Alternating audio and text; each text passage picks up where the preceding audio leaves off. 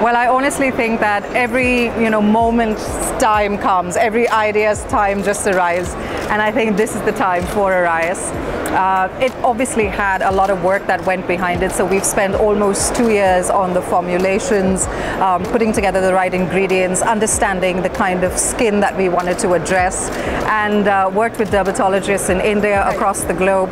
Uh, a lot of the ingredients that you'll see in the products, um, a lot of them are from India, but then other things are also brought in. So it's, you know, it's making sure you get the best quality of skincare that your buck can buy.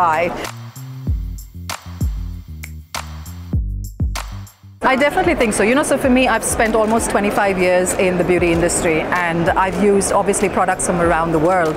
But I find that, you know, buying a cream for me from a company that's a Scandinavian company or a European company or a French company, I mean, obviously the creams are amazing and they're amazing results, but our skin types are completely different. The things that are causing our skin to age as we get older are different reasons, you know. So for us, climatic conditions in this part of the world, you know, uh, rising pollution levels, you know, all of that is, is um, points that need to be addressed. So to find or to have a comprehensive skincare that you can use every single day, that's gentle enough that you can incorporate it into your daily routine, and at the same time, it's not going to bust your bank, you know, because a lot of times I find women go out and buy that one jar of really expensive cream, and then they hang on to it for two years, you know. So it's used very sparingly, and I think as a woman that you sh shouldn't need to compromise on looking after your skin. So the idea is to make a line that is absolutely affordable, even for middle class women, that you know you're not thinking twice before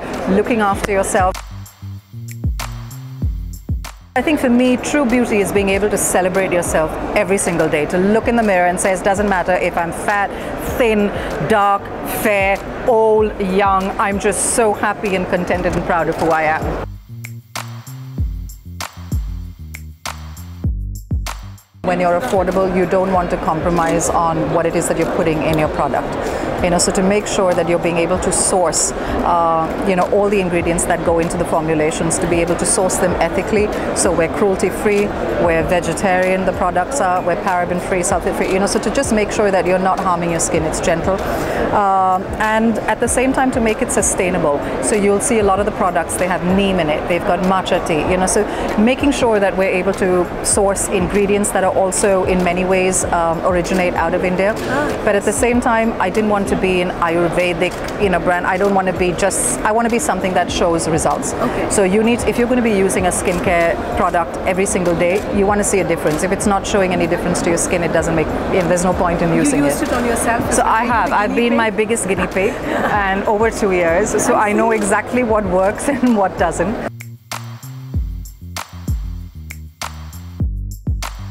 To be very honest, I'm not against anybody. Exactly, I'm absolutely not. And I'm the last person who says, oh, I don't think somebody should, you know, do. I think for every woman, you want to be the best version of yourself. And so if you want to go out and whether it's coloring your hair to, you know, injecting something into your face, it's absolutely up to you and it's a personal choice that you make.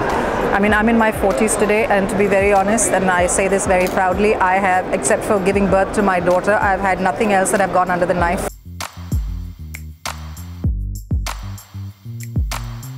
Oh, it is stressful. It's very stressful, especially now that we live in this whole paparazzi culture where know, you know, now of course, and then you're packed, you know, going in for uh, going into the dentist, you know, you're just so exactly, and so now there's that pressure, especially with social media, to constantly be on the top of your game, you know, and I've never ever allowed myself to play into that. I just I, I'm not that kind of person, and I think I would be a rather miserable person if I was constantly playing to the gallery.